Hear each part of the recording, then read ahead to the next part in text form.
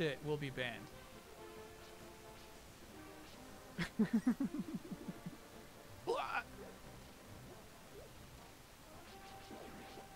Oh, happy birthday,